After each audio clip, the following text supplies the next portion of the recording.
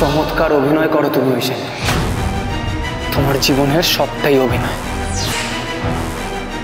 আমার সাথে ভালোবাসার ভান করে গেছো এতদিন কিন্তু কোনোদিনও ভালোবাসো আর আমি আমি বোকার মতন তোমাকে ভালোবেসে গেছি অন্ধের মতন তোমাকে বিশ্বাস করেছি।